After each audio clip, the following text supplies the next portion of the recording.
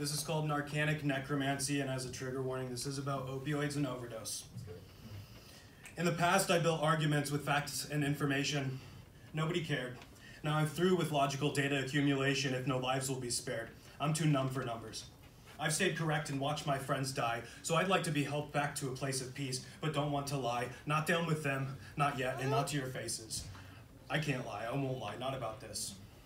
I write to cope, not because I'm bored. I'm a member of the Narcan zombie horde. That's right, I died, but I came back, instilled with a burning urge to attack and wax poetic about the dangers of smack. But first things first, I hunger for brains. I'll reassure you, though, that they're not all the same. The ones I'm seeking are really quite specific. I'd settle for less, but what to me sounds terrific is for the horde to fall upon those behind all our deaths. Pharma kingpins, lobbies, politicians, and the rest. I just want to rip the hearts straight from their chests and feed until there's nothing of any of them left. Except some traces in our shit after we digest. And don't use that to fertilize your fields. It's poison, just like the drugs they push. They ain't toys, son. Their toxins killed me, but I've been restored. Joined up with the Narcan zombie horde. We've been silent too long, now we can't be ignored.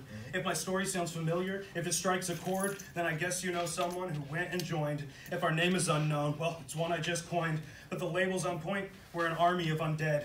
And of yet, changes aren't in place to slow our further spread. But they start once we find and feast on Richard Sackler's head.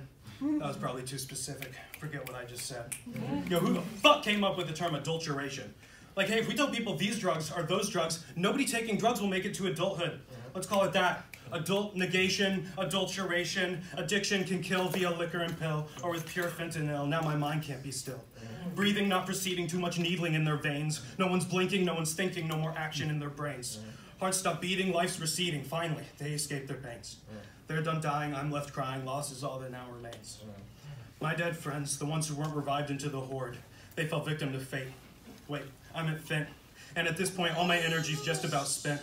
But I'm still here. I've got no choice but to fight. It's getting rough though. I'm running purely on spite. I would think enough hopes and dreams have already been mm. shattered, but I got the message clear as day. Junkie lives have never mattered. Mm. The horde we aren't alive, but we're back and we're hungry. So I'm stating our demands, not so humbly. It's uh-huh. long overdue for these things to start changing. Time for some socio-cultural rearranging, the uh-huh. passage of life-saving legislation, giving harm reduction practices prioritization. This war on drugs has got to stop. Everyone lost their lives, their communities, their friends, their families, their sanity, any remaining tattered shreds of belief in a possibility of justice. I would settle for justice over brains. It'd still be a sweet reward. But so long as I'm here repping the Narcan zombie horde, I don't want to hear that all legal options are being explored. If you live by it, then you're condemned to die by the sword. Yeah!